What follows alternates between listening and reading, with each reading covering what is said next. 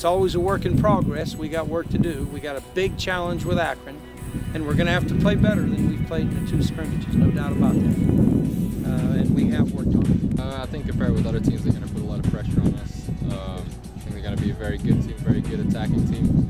I think uh, as a team, we prepared really well and we're good, um, good defensively. So I think we should come out solid. We should, uh, should have little problems with that. It's definitely a new role that I play, and um, whatever I do, I just now the difference is I want to make more entry passes into the final third, and when I played in defense, I couldn't really do that. I was just intercepting the balls, and delivering to the midfielders.